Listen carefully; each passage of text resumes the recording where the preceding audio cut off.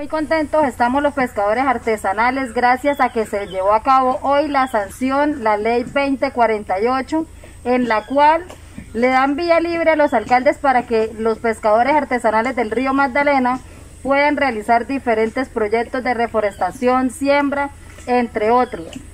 Es una gran noticia para nosotros los pescadores artesanales, ya que de la mano con este gobierno que tenemos, que es un compromiso que él tiene también con los pescadores artesanales, podamos ejecutarlo ahora que se acerca la veda.